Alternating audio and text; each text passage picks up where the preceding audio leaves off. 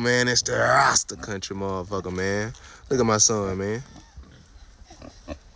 Look at my son. He's so rough, it don't make no sense.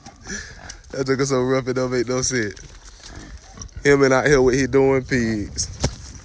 Hey man, these are called Ossabaw Island pigs. It's actually a mixture between wild pigs and domesticated pigs, right? So that's why whenever you touch them, they can raise their hair on the back of their neck to look like a hyena. I mean, I actually love these pigs. Quick little facts on them. They actually are insulin resistant. So if you ever get any Ossabaw pigs, don't feed them a lot of corn simply because if they get diabetes, insulin will not work. So these again are Ossabaw Island pigs. They can get up to be like 300 to 400 pounds simply because they are mixed with wild pigs. They are great pigs. They are a lard pig. That's why they are long. They're not a meat pig. They're actually a lard pig. So they make a lot of grease and fat and stuff like that. But these are Ossabaw Island pigs. I've had these pigs for almost about two years now. So uh, they're not too big. They're probably about 175, about 180. Haven't measured them. I might be wrong off the measurements, but they might be almost 200 pounds. Touch that pig. Tell two dollars come here. Touch that pig.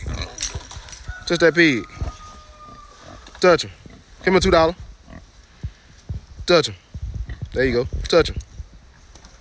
Touch that pig. Why you climbing it? Why you climbing the gate?